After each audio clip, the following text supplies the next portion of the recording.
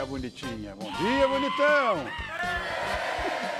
Aí, Paula, mais uma segunda-feira começando, né? Eu acho que é, é uma alegria e grande, nossa, né? E te convido para passar a semana todinha com a gente. Você topa? Então vamos juntos, porque o programa de hoje está imperdível. Olha só. Na cozinha, um chefe da manhã português, né? Ah, meu Nosso Deus, Patrício, tá... na, nas nuvens, né? E na sala, uma roda de conversa sobre um assunto muito importante: a relação entre bem-estar financeiro e saúde física e mental. E não acabou, não. Eu vou bater um super papo com o apresentador Arthur Veríssimo, que coleciona diversas histórias incríveis de tantas viagens que esse cara já fez. É claro que a Paula Preto está aqui nos lados, né? Vai nos trazer as notícias da manhã. Mas antes eu vou para o intervalinho, você sabe, né? Começa o intervalinho e eu volto já já. Voltamos, me espera. Voltamos, bonitinha. Voltamos aí, bonitão. Muito bem. Vamos conferir como tem hoje? Presta atenção. A relação entre saúde financeira e bem-estar físico e mental é um tópico muito importante e muitas vezes deixado de lado em nossa sociedade. Eu vou receber aqui o educador financeiro William Ribeiro e o clínico geral Dr. Arthur Zular, que vão falar justamente sobre como as dívidas podem afetar a nossa saúde. Eu, pessoalmente, acredito piamente nisso. Na cozinha, um café típico da terrinha, com quitutes como pão de azeitona, pão de calabresa, pastel de nata, cestinha de amêndoas. Ai, ai, é, travesseirinhos de Sintra, olha. E quem nos trouxe foi o chefe Marco Canissa, que aqui está, que vai também nos mostrar ao vivo como algumas dessas comidinhas são preparadas. Quem vem bater um papo comigo é um apresentador multifacetado. Ele também é fotógrafo, autor, pesquisador, palestrante, com experiência em viagens para locais exóticos, graças ao trabalho que ele realizou por mais de 30 anos para a revista Trip. Ele também comandou aqui o programa Manhã Maior, aqui na Rede TV. Quem é ele? Só pode ser o Arthur Veríssimo, lógico.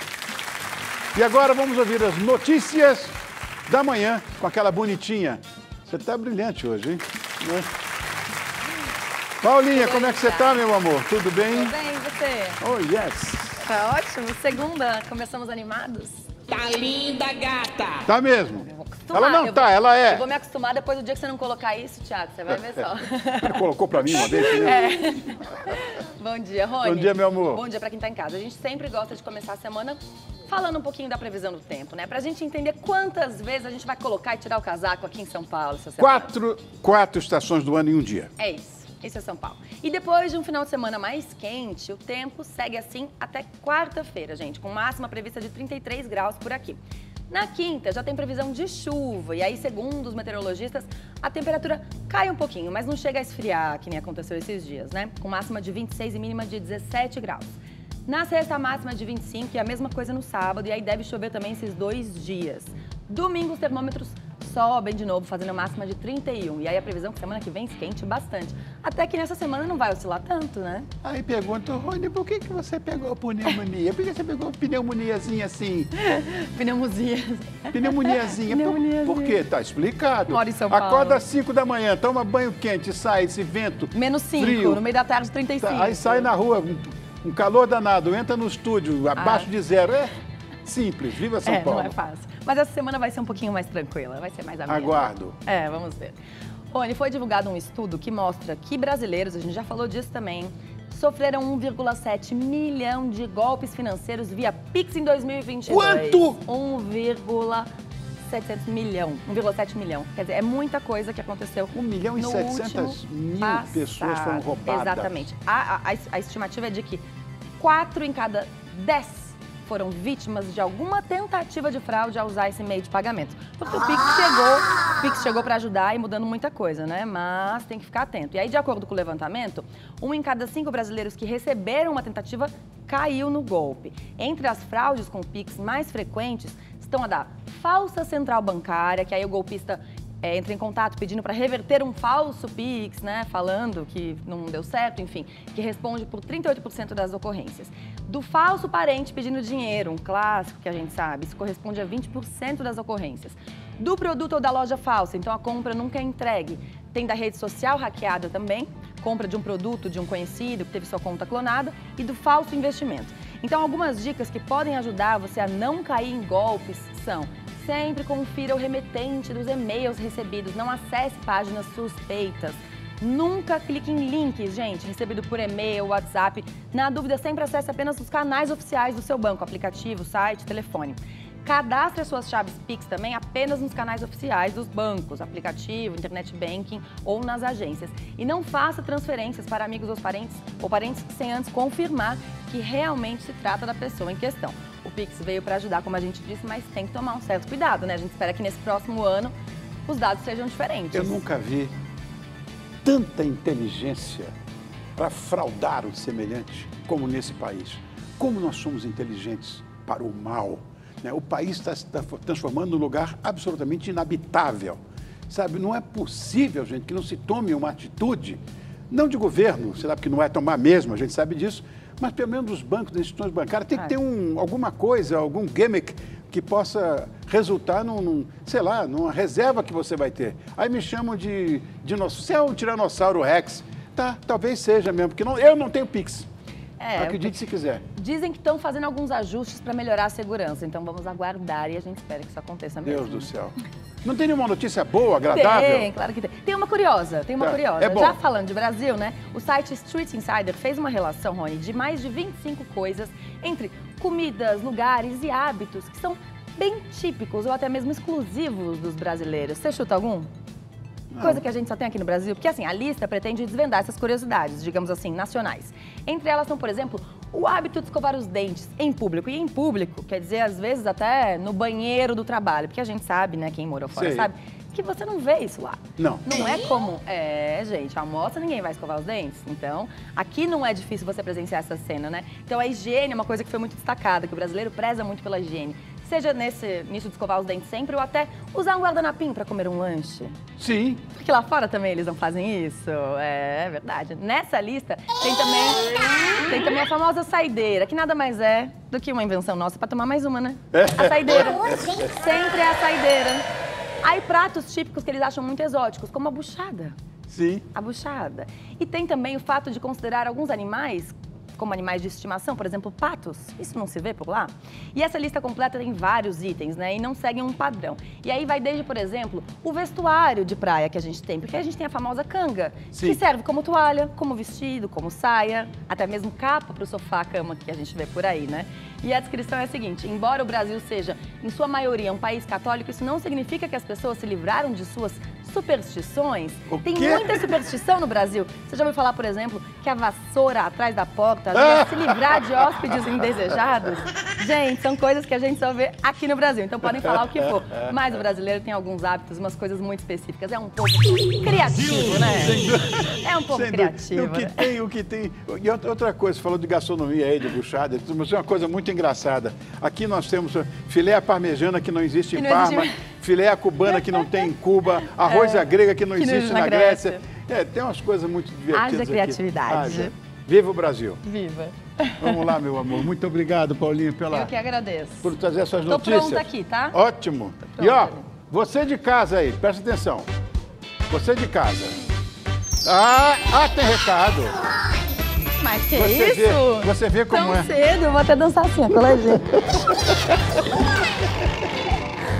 Olha, o pessoal gostou das, das notícias do Já, vê? Já começamos bem. Viva a semana inteira. Preste atenção.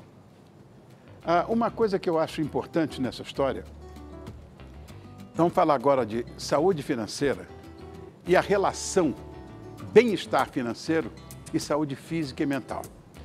Eu acho que isso é um tópico muito importante, muitas vezes deixado de lado na nossa sociedade. As dívidas podem impactar significativamente a vida das pessoas, gerando o que a gente chama de efeito dominó, que isso se estende além do campo econômico, afeta a saúde geral. E para falar sobre isso, hoje eu estou aqui com o educador financeiro William Ribeiro e com o clínico geral, o doutor Arthur Zular. Aqui eu cumprimento e agradeço por terem acordado cedo e conversar sobre um assunto tão importante. Muito obrigado. Obrigado, doutor. Obrigado, William. Bom, a história, para começar, é o seguinte. Doutor Arthur, quando é que essa história da dívida pode afetar, de fato, a saúde? Bem, a saúde ela é afetada pelas dívidas de uma forma contundente. Na realidade, o indivíduo ele se torna inoperante. Ele começa a ter dificuldades no, nos campos afetivo, social, profissional e ele fica inapto, inadimplente para seu, os seus compromissos do dia a dia. E, e, você não tem ideia, telespectador, o quanto que isso é grave. Por quê? Porque são males do coração, do estômago, do intestino, eh, da pele, eh, da sexualidade, eh, questões de depressão, de ansiedade que vêm avassaladoramente machucar e atrapalhar a qualidade de vida. É impressionante. Você vê a lista, William, a lista que o, o doutor deu para gente aqui, até pele. Pois é. Pois é. Agora, até quando a dívida é, pode causar um mal na vida financeira de uma pessoa? Aí, me atendo aqui somente à parte financeira da coisa, né? A gente precisa trabalhar as nossas finanças pessoais de maneira que a gente consiga progredir financeiramente, construir um patrimônio para se aposentar, principalmente quando a gente está falando de déficit na Previdência, no INSS. E a pessoa, quando ela é endividada, é como se fosse um cabo de guerra que está puxando a pessoa com uma força de juros muito maior do que quando ela está investindo. Mas sim, a pessoa precisa virar o jogo da mesa, né? trabalhar do outro, do outro lado da mesa para virar um investidor, em vez de ser um devedor, porque a, a, os índices de juros no Brasil são estão entre os maiores do mundo, né? E esse jogo precisa ser mudado. Essa coisa, doutor, do esse estado de alerta que parece que a pessoa fica, uh, existe, na verdade, alguma incidência maior em algum tipo de, vamos dizer, de patologia? Que eu acho que deve ter uma coisa que pese mais do que outra, que até pele, meu Deus do céu. Mas tem uma que é mais comum no seu consultório? Sim, eu, eu sou cardiologista de formação, trabalho com psicossomática, dou aula na Faculdade de Ciências Médicas da Santa Casa. Parabéns! É, professor há anos, eu sempre digo para os meus alunos o seguinte, é, o sistema cardiovascular ele é o primeiro a ser afetado. Ele tem uma liberação de adrenalina, noradrenalina, cortisol, a pressão arterial sobe muito. O indivíduo pode ter infarto agudo do miocárdio, hipertensão Deus arterial. Meu. Crises hipertensivas são as mais frequentes, arritmias cardíacas também. Então, o indivíduo, nesse estresse que você perguntou, ele fica preparado para lutar ou fugir ou ele vai enfrentar a fera ou ele sai correndo da fera. E a fera são as dívidas, as contas não pagas, a falência emocional, a, a falência uh, social, o indivíduo se sente apequenado por, por não conseguir fazer frente aos seus compromissos. Então, uh, é um problema de saúde sério, né? é um problema físico, psíquico, a psicossomática trata isso, né? da união entre as questões da cabeça e do corpo. Então, os quadros de ansiedade são muito frequentes e os quadros depressivos também, é, eles chegam com tudo. Interessante o seguinte, na sua especialidade, que é a cardiologia, eu já ouvi falar que é, existe um componente muito forte, que é o componente emocional, para problemas ou distúrbios cardiológicos. É fato isso? É fato e isso que me fez me apaixonar pela psicossomática, porque no consultório todas as questões é, de orientação ao paciente são é, no sentido de fazê-lo com que ele mude os hábitos de vida, mudar comportamentos que não são saudáveis, como tabagismo, é, a, a, inatividade física, a erros alimentares, é, obesidade. Então, nós precisamos muito de ter a cabeça do paciente junto de nós. Então, as questões emocionais, elas são é, extremamente importantes. Se o indivíduo não está bem, ele não vai ter aderência a esses comportamentos saudáveis. E grande parte das queixas que levam os indivíduos aos médicos são é, de questões emocionais. Então, não é infrequente, eu diria que a minha prática de uma vida é, estar ligada à escuta do paciente, às questões biopsicossociais, escutar quem é esse indivíduo, por que, que ele sofre, aonde que dói, quais são as questões que eu digo anímicas, de alma, que são importantes para esse indivíduo, as questões familiares, as questões profissionais, afetivas, sexuais, todas essas, elas fazem parte, elas são importantíssimas dentro de uma consulta no dia a dia do, é, é, da medicina. Então, o paciente ele quer se sentir acolhido, ele quer se sentir visto, compreendido, entendido é, e é, ter individualizadamente uma proposta terapêutica que atenda às suas necessidades mais importantes.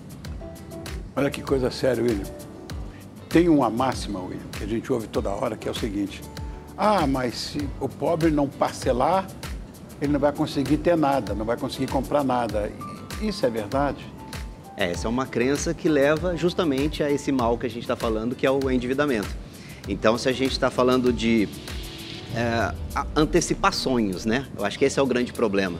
É, eu costumo dizer na, na, no, no, nosso trabalho que em educação financeira os atalhos só servem para atrasar a nossa vida.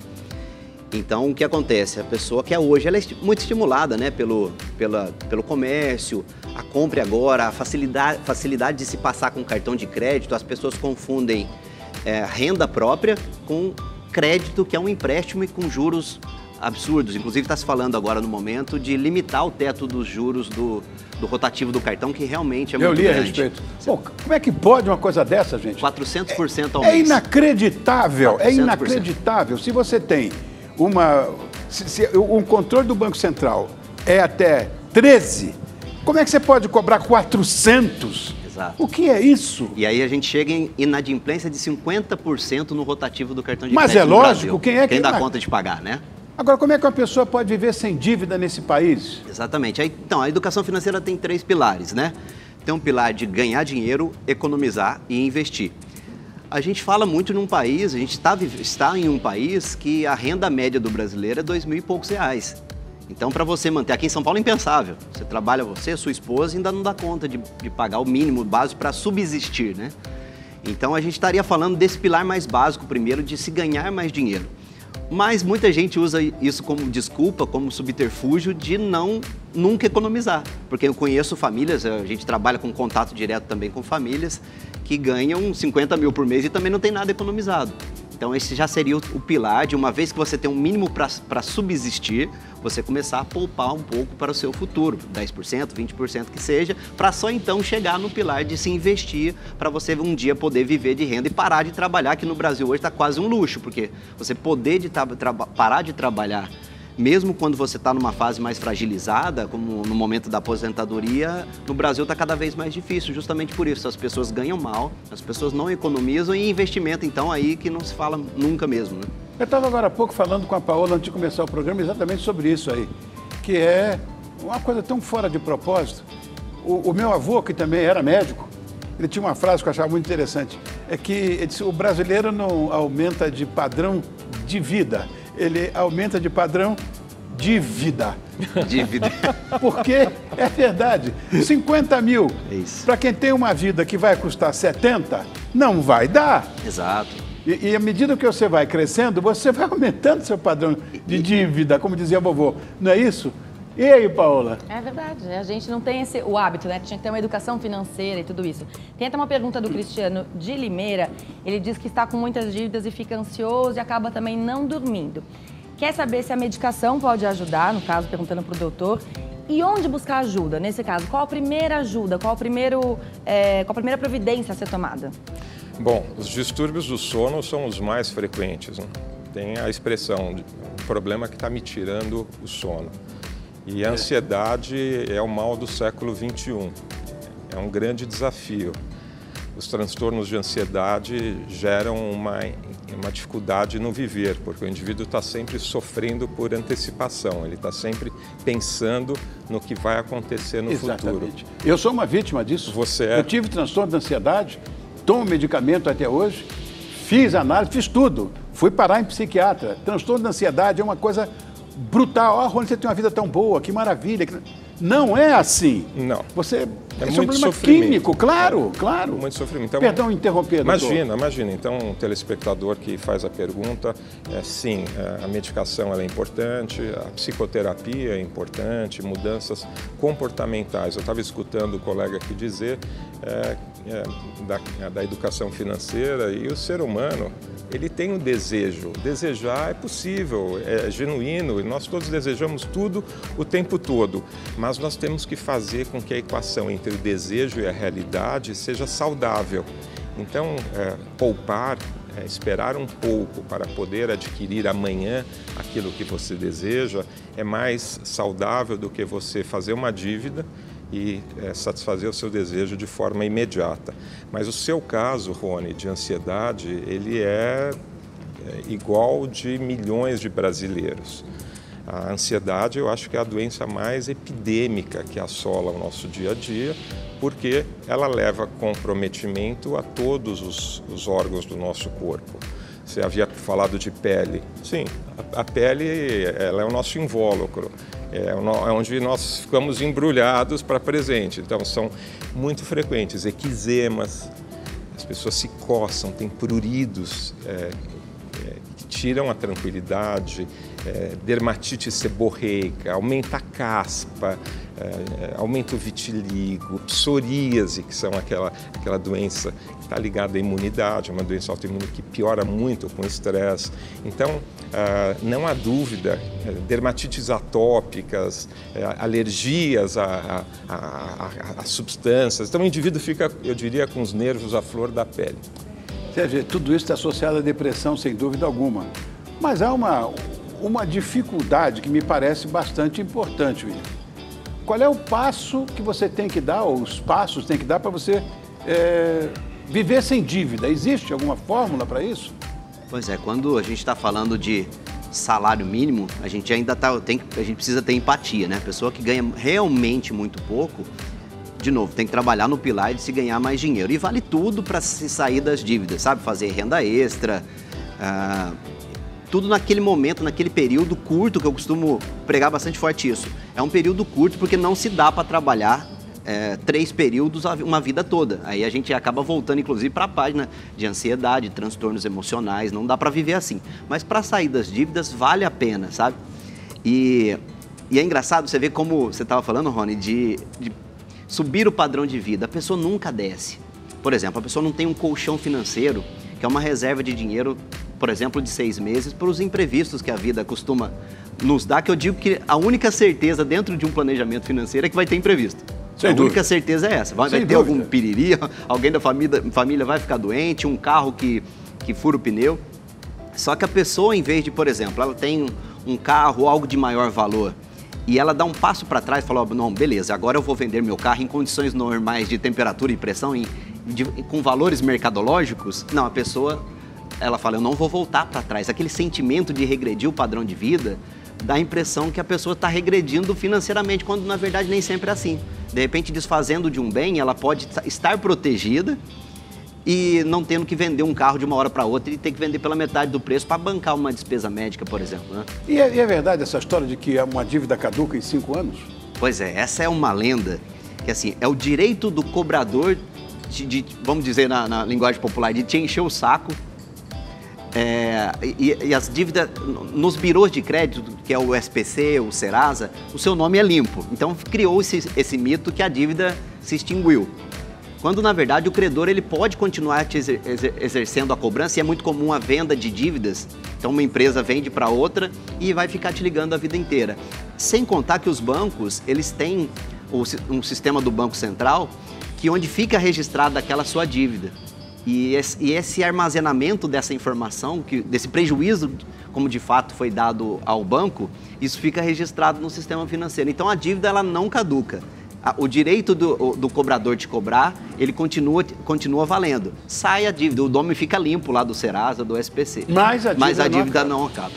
Doutor Arthur, no seu speech eu fiquei prestando atenção de que isso também afeta a sexualidade. É fato? Opa, e como? a libido, a libido é estar para cima, né? Tanto no homem, é, para ter ereção, ele tem que estar tá bem, ele tem que ter o, a, as condições normais cardiovasculares, a pressão tem que estar tá normal para haver é, ereção. Que o pênis precisa se encher de sangue. Claro. Se ele está com a pressão alta, aquilo não vai acontecer a, a, a, libido, quer dizer, o desejo, a energia de vida, está ligado ao alto astral, ao prazer, ao bem-estar, à satisfação. O sujeito está cheio de dívidas, está ferrado, não consegue pagar a escola, não consegue pagar o condomínio, não consegue pagar a conta de água, de luz. Ele não vai ter satisfação, não vai ter condição de exercer a sua sexualidade plena. Onde é que eu encontro vocês? Bom, é, eu tenho um Instagram que é Arthur sem H underline Zular, esse é meu Instagram. Tem uma plataforma também que é a Quero Quitar, que é uma startup que eu fiz de negociação de dívida. E estou à disposição de vocês. Obrigado, você, precisar. William. Obrigado, Rony. Dinheiro com você em todas as redes sociais, YouTube, Instagram. A gente fala para uma base de mais de um milhão e meio de, de pessoas mensalmente. Beleza pura. Bom, agora é o momento de dar aquela piscadinha para receber mais bonitinhas e bonitões do Brasil inteiro. Tá certo? Ó, focou? Pisquei. Olha, uma verdade precisa ser dita sobre a terrinha lá em Portugal, né? Come-se bem. O típico café eh, do país é bem apetitoso, é conhecido como o pequeno almoço. Além dos pastéis de nata, você pode encontrar tocinho do céu, que eu amo, não é? pão de azeitona, que é um sonho, o pão de calabresa, ah, o travesseirinho de Sintra, que eu adoro, o bolinho de bacalhau, a cestinha de amêndoas e tantos outros quitutes que temos aqui hoje. E quem foi que trouxe tudo isso pra gente? Foi o chefe Marco Canissa, que aqui está, que vai nos mostrar como alguns deles são preparados. Tá bom, querido? Muito obrigado por ter vindo. Hoje estamos bem, né, Paola? Formou-se aqui o trio de Portugas, não é? Olha aí, ó. Prontíssima. Acabei de ver que tem. É com certeza uma casa portuguesa. Muito bem. Marco, o que que você trouxe pra gente hoje? Então, hoje trouxe uma variedade dos mais típicos doces portugueses. Ah, temos aqui o pão de azeitonas, Amo, pão de calabresa, adoro. Temos o travesseiro de Sintra. Ah, o travesseirinho de travesseiro Sintra. Sintra. Esse é, é importante para mim pelo seguinte: a minha família nasceu em Sintra. No século XII, nós somos de 1154, na época do Afonso Henrique estava formando o Reino de Portugal. Está aqui, eu sou Sintra, com o maior orgulho. Aí, ó. Portuguesão como eu, não tem ninguém. Século XII. Viu? Você que diz português. Português sou eu. Não é isso aí. Então, Temos então, o bolinho de bacalhau, bolinho de bacalhau clássico. muito famoso. O pastel, Pastel de, de nata. natas.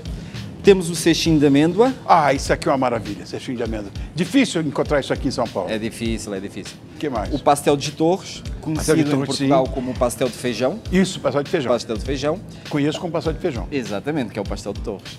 Aqui temos o tocinho do céu, Ai, as nossas famosas empadas de bacalhau.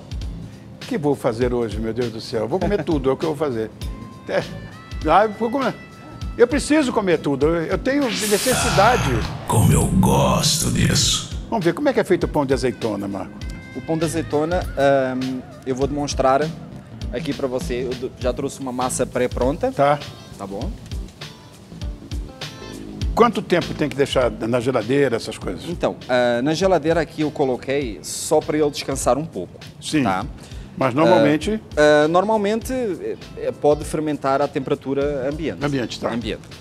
Neste momento eu vou ah, executar como, como nós fazemos o pão, né? O formato, como damos o formato. É claro que depois de- desse formato ser dado, tem que descansar a massa, fermentar para depois poder ir ao forno. perfeito. Hum. Você sabe que eu tenho. Eu tenho um amigo, Arthur Rezende, ele vem. Perdão. André Rezende. Ele vem sempre aqui no programa da, da Clau. Ele me deu uma oliveira de presente. Eu plantei no vaso.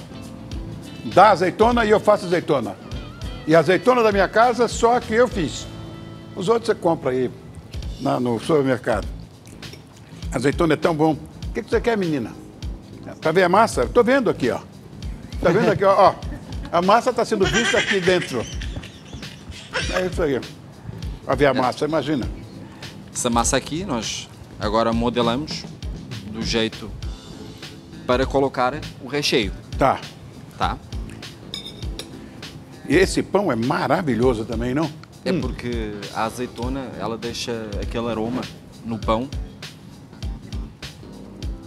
Aí vamos colocar aqui então a azeitona. Só esticar um pouco mais a massa. Beleza? Aí nós colocamos a azeitona de forma a que quando for enrolar ele fique espalhado por toda a massa. Né? Perfeito. Enquanto você enrola, dou um recado. Ah, tá bom. Vem cá. Continuando, Marco. Um já está pronto. Um já está Pronto. Agora- assar, que temperatura é? Em que forno pode ser? Então, pode ser num forno de casa, não, não precisa ser um forno industrial. Sim. Ah, uma temperatura de 220, 230 graus Tá. durante mais ou menos uns 10, 12 minutos, tá? Depois fica mais 5 minutos numa temperatura mais baixa, só para acabar de, de, de assar o pão. Como bom português, eu tenho forno de pão em casa. A lenha. A lenha, A lenha. Quanto tempo? a lenha, a lenha é bem rápido. É mais rápido, É né? bem mais rápido. A lenha você consegue assar um pão em cerca de 12 minutos, Beleza, pura. dependendo. Tá vendo só como vale a pena? Agora, é, o ponto da massa, como é que a gente sabe que tá? O ponto da massa é muito simples. Ah, depois de bater a massa, você consegue ver pela textura. Ela fica elástica, Não ela rasga. fica lisa, não rasga. Chama-se o ponto de véu. Ponto Ponto de véu. de véu. Tá. É. Ah, ela não rasga. E o bom dessa massa, que é a, a mesma que nós fazemos a azeitona, nós também fazemos a de calabresa. Nós utilizamos Ah, a tá. mesma Ah, massa. calabresa, não peguei a calabresa, vou A pegar. mesma né? massa. Olha que beleza pura. Nossa, que? Ah, Que que é isso? não mostra eu comendo assim desse jeito. É feio. Hum. Meu Deus, que vergonha. Não pode colocar também muito recheio, senão vai acabar por eh, estourar a massa, né? Então, eu posso variar com essa mesma massa. Pode. Calabresa, azeitona, o que mais? ah, o céu é o limite. o céu é o limite. Pastel de nata. Past- Outra paixão. Pastel de nata, ahm, é assim, eu não vou poder revelar todos os segredos. Claro, não pode. Com certeza, né? Mas eu Ah, posso dar um jeito aqui pra você. Ah, é? Aqui, ó. Será que vai conseguir descobrir? não sei, não sei. Hum. Aqui. Ai, que coisa. E aí, Não, não deixo não. está parecendo igual ao de Portugal? Que maravilha. Hum. Água. Toma água. Se mandou tomar água, toma água. Tomei água. Agora eu faço uma pergunta para você. Você já pensou em uma assinatura que te dá uma chance de ganhar? Alexa, caixa de som JBL, smartwatch, patinete elétrico, um drone profissional e até mesmo um carro zero quilômetro. Aí, o Festival de Prêmios aqui da Rede TV tem tudo isso e muito mais. Ganhe prêmios diariamente por um preço que eu diria, é, como é que vou adjetivar? Imperdível, vai. Com apenas cinco reaisinhos por semana. O seu sonho pode ter uma picape zero na garagem, pode acontecer. Com o festival, uma Ford Ranger zero quilômetro pode ser sua. Então participe, corra para o site ou capture o QR Code, aproveite agora mesmo. Festivaldeprêmios.com.br. Prêmios todos os dias. Sabe para quem? Para você, é claro. Uá. Marco, estamos de volta. Tô acaba- vou acabar meu. Por que, que não se pode chamar pastel de Belém? Porque o Pastel dos Belém é uma marca registrada. Ah, o Pastel dos Belém é uma marca que foi criada lá em 1700 pela casa que hoje vende os pastéis de Belém. Então não pode ser chamado Pastel de Belém. Então vira pastel de nata. Pastel de nata. Pastel de nata. É como, é como o espumante que é fabricado na região de Champagne, Exatamente. não é? É, Exatamente. champanhe acabou. Não pode. O que, que você está fazendo aí? Então, aqui eu tô, tô com massa folhada, que é a base, que é a base do É a base pastel. do pastel de, de nata. Ah, essa massa folhada, ela é enrolada num tubinho e aí ela é cortada, seja, é um tubinho Sim. e é cortada assim em pequenos fragmentos para que aqui eu possa abrir a massa na forminha. Tá. Tem que molhar. Tem que molhar porque senão vai grudar na, no dedo, Tá. certo? E nós depois temos aqui o creme, que já está é pronto. o creme patissier. Não, é Não? o creme do pastel de nata. Ó, É o creme do pastel de nata, não tem nada a ver. perfeitamente. Então, esse creme aqui ah, é parecido com o creme patissier, Sim. certo? Mas o creme patissier ele fica bem mais, mais espesso. Esse aqui é líquido Tá ali. para que a gente possa verter dentro da forminha. Olha a facilidade que o Marco faz isso. Eu ia derrubar tudo. aí. Como eu gosto disso. Meu Deus do céu. E aí continua. Isso é um sonho. Isso é um sonho em forma de pastel de nata. Essa mesma base Ah. nós utilizamos também para outras receitas, como o cestinho, que a base ah, também é massa folhada. Também para o nosso pastel de feijão. E a nossa. E o nosso travesseirinho de Sintra. Tá bom? Ó, bom é água com açúcar, isso aqui é um pouco melhor. Que que é isso? Onde é que eu te acho, Marco? Então, ah, eu tenho uma conta no Twitter, Marco Canica. E a minha conta no. Que seria caniça sem o C cedilha. Exatamente. E a minha conta do LinkedIn também é Marco Canica. Por enquanto, te deixo e volto já. Por uma razão muito simples. Hoje eu tenho um convidado Mega Ultra Plus que vai estar com a gente. Hum. Tem uma coisa, se tem uma coisa que o meu convidado gosta de fazer, é viajar. Você vai conhecer ele, já já. E vamos falar sobre tudo isso. Bom, isso aí aqui é, é amêndoa? Isso aqui é a cobertura daquele cestinho. Cestinho de amêndoas. Como se faz isso?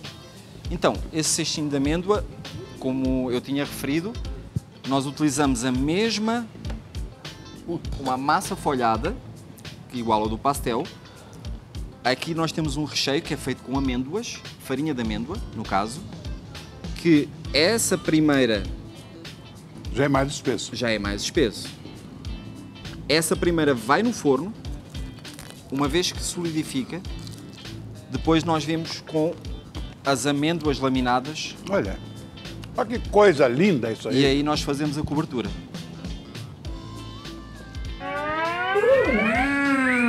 Mas pode comer à vontade, não faz mal, aqui não. Gente, é uma diversão. Presta atenção. Existe alguma coisa melhor que isso? Só vinho. Vinho. Ah! Vinho. Vai falar isso para um sommelier? Ah. E olha que você sabe de uma coisa? A, a enologia portuguesa hoje está indo por um para as alturas. As grandes faculdades, as grandes escolas de enologia estão em Portugal, uma garotada que não faz mais vinho en primaire, não faz vinho para você deixar envelhecer na adega. Passa pelo casco de carvalho, engarrafa, pode tomar. É verdade. É verdade. vinhos maravilhosos portugueses, adoro. Enfim, agora sim, vou dar um tempo, né? Eu vou dar um tempo, pronto, eu sei, eu estou trabalhando, não, vocês não me deixam comer, tudo bem, eu entendo isso.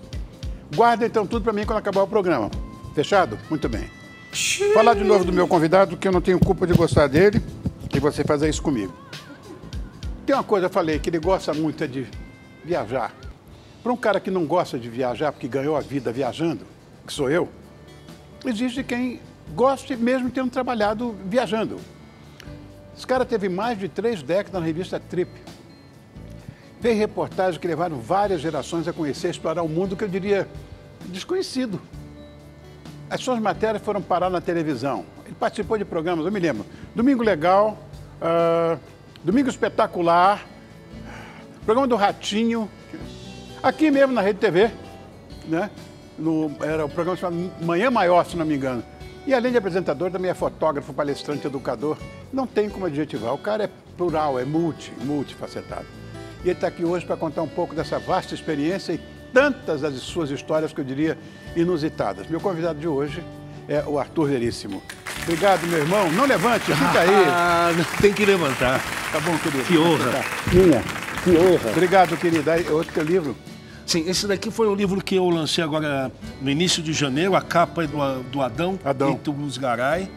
E são 32 relatos eu circulando pelo mundo. De Madre Teresa de Calcutá Até? a Cesária Évora, meus encontros. Cesária Évora, Ah, do nosso universo. isso aí, querido.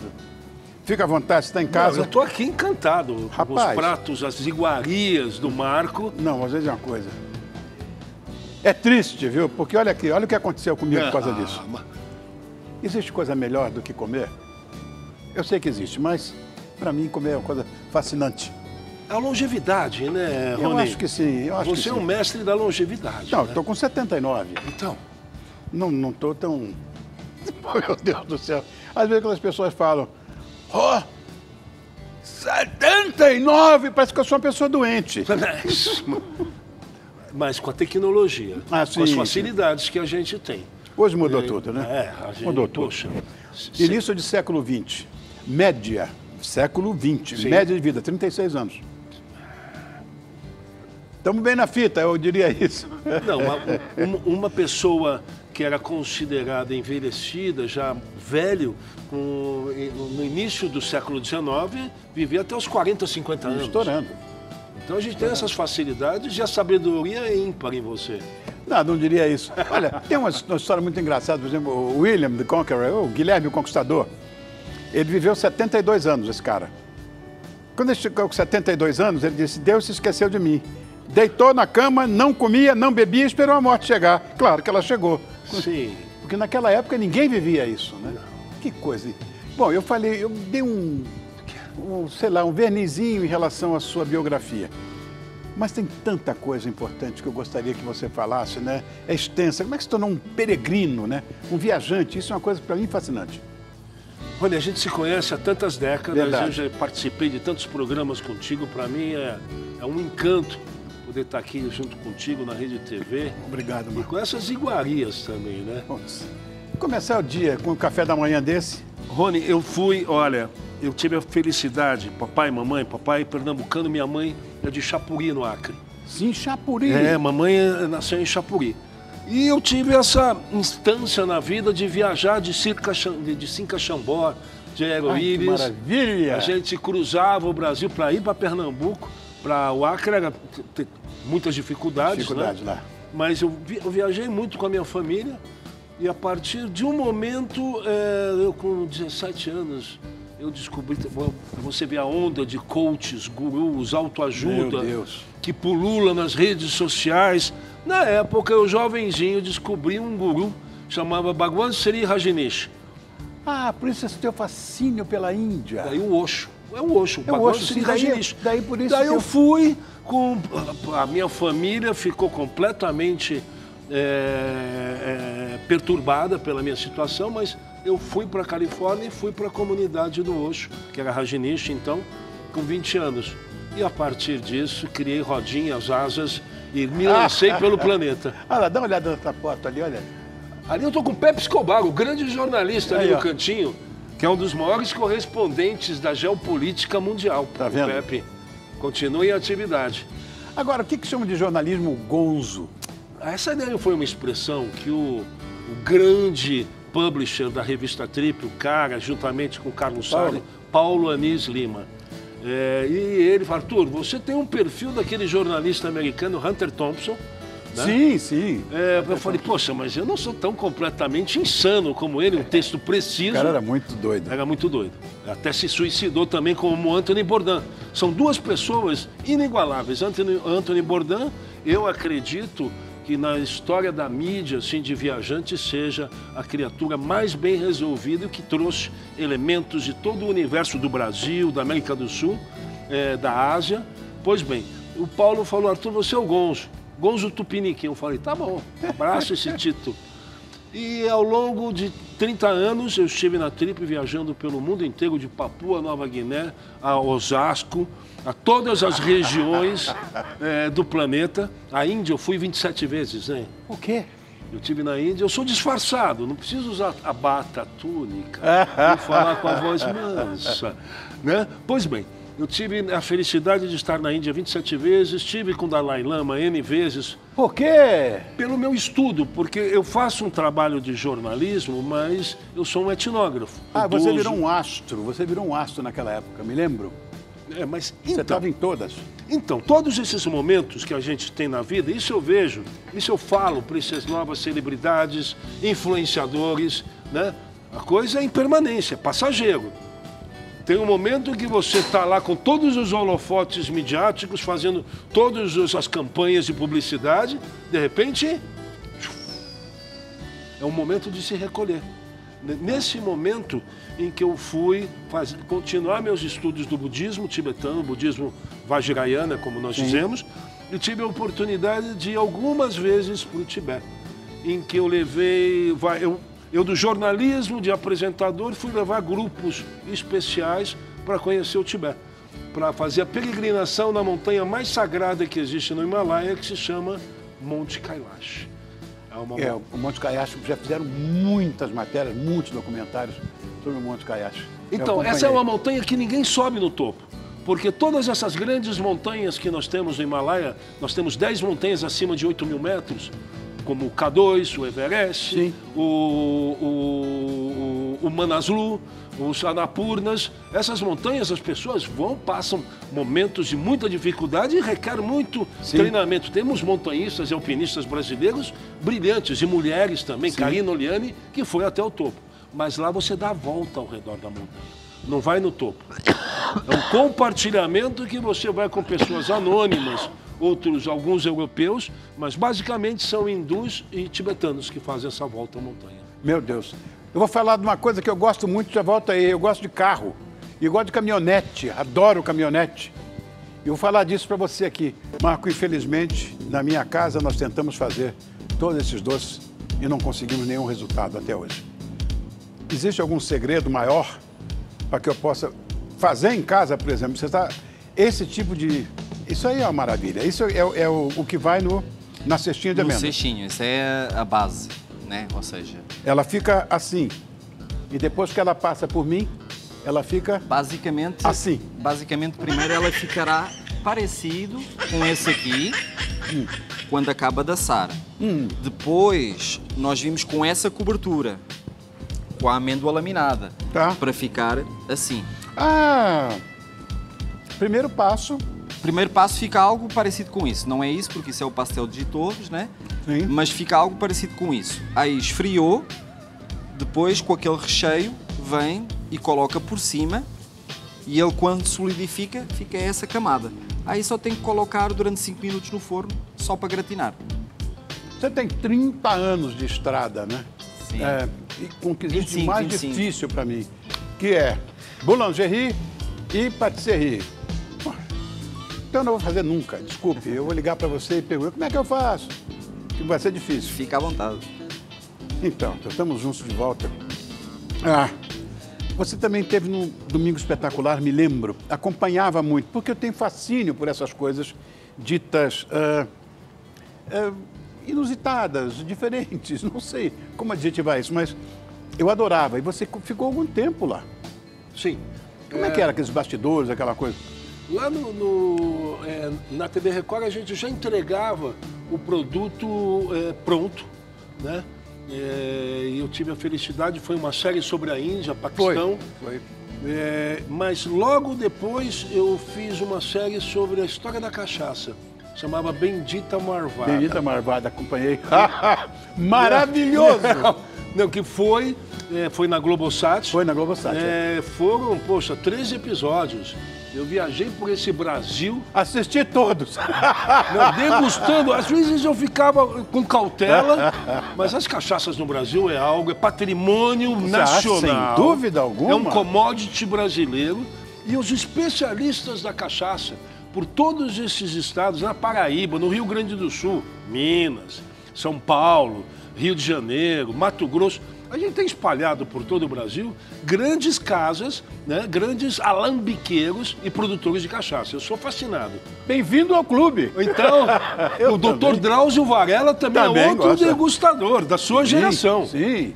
Temos, eu, eu tenho, não diria uma coleção, mas eu tenho uma coisa próxima disso. E tomo, que não é só você ter e mostrar. Olha aqui, eu tenho Ah, essa. sim. Tomo. Na mesma coisa que livros em casa. Você vai na casa de determinados figuronas e figurões, tem aquela imensidão, aquele acervo, mas você vê que os livros estão intocados. Ninguém foi lá e folheou. A mesma coisa que cachaça. As garrafas têm que estar alternadas. É, Claro. Porque é claro. degustação, não é isso, Claro, Rony? Lógico, lógico. Existe a degustação literária também. Volta e meia, eu pego alguma coisa que eu já li volto, releio e descubro outras coisas. Eu acho que eu, eu não conseguiria, Arthur, de jeito nenhum, essa coisa, ah, esse didatismo que existe hoje. Não, você tem que, ah, ah, sei lá, é a equação do homem com a época. Não adianta, você tem que ser mais maleável. Não, eu não quero nada eletrônico. Eu, eu quero abrir o livro. Esse livro aqui, por exemplo. Ah, On the Road. Aqui, ó. Eu quero abrir o livro, sentir o cheiro da tinta, da impressão, pegar com a mão, voltar para a página onde eu estava. Isso não posso fazer num tablet. É isso daí se chama. Não gosto. O Roland Barthes, ele cita isso como sendo o prazer do texto. É isso aí. Realmente você entra no Satori, no Nirvana, naquele bem-estar, ainda dando um golinho numa cachaça, aí melhora mais ainda. Você vê? O que, que é, menina? Break? O quê? Mas não, é um atrás do outro aqui. Mas é, é é ele é de televisão, Arthur, a gente sabe. Vamos para outro break? A gente volta, juntinho, peraí. Estamos de volta. Bom, e outra coisa, isso aqui eu já te falei, ó. Vou ler hoje. Eu achei muito legal, que deve ter. E tá cheio de fotos, né? Que eu acho tão bacana isso, né? Fala do teu podcast, além do livro. Não, não, então, eu tô pra fazer podcast, canal no YouTube, meus amigos ficam me aloprando, Paulo Ricardo, de Paulo Ricardo a João Gordo, de Eduardo Bueno. Dois amigos meus. Ah, ah, então. João é meu Não, irmão. João é demais. João é meu irmão. Aquilo é inacreditável. É, eu tô agora me exercitando para fazer isso. É, eu dou aulas, faço viagens. É palestrante. Eu sou palestrante, educador, três filhos. É, mas. Plantou tô- árvore já? Hã? Plantou alguma árvore? Várias. Então, é, viveu. Várias, não, não. E árvore, por falar nisso, eu estou para fazer uma exposição dos baobás de Madagascar. Eu tive em Madagascar, eu fui naquela avenida maravilhosa Que que, aquilo. daquelas árvores milenares, e fotografei de todo, fiquei uma semana lá fotografando. Isso daí também vou fazer uma exposição. E estou aqui, nós vamos Olha lá, Olha lá, olha lá. Sou eu mesmo. Que rápido. essa Rapaz, equipe. Você tá Olha na lá o equipe. Hammer. Esse aí foi o Hammer que eu viajei para lá. Você tá na equipe do Manhã do Rony. Eu vou só te avisar. Não, tá impressionante. Você tá vendo? Rony, É. muitíssimo obrigado por estar aqui com Não, vocês. querido, eu que agradeço. O chefe arrebentou. Eu vou sair. Marco! É, Mas é. esse, esse trio aqui, ó. Foi um esse trio prazer. aqui vai ficar com você no coração para sempre. Quando é que você volta? Quando me chamarem, Então é, já tá estou às chamado. ordens. Meu, qual é o endereço para degustar essas maravilhas? Ah, é uma, uma franquia que se chama Belém Bakery. Está presente em todo São Paulo, Rio de Janeiro, no Nordeste. Tá? Então, shopping, shopping eh, Ibirapuera. Obrigado, querido, obrigado. Comilona. Obrigado, Paola. Arthur, adoro você, querido. Obrigado, Muito mestre. obrigado. Ô, Clau, toca o barco. Agora é contigo, meu amor. Um beijo para você que está em casa. Beijo, até amanhã.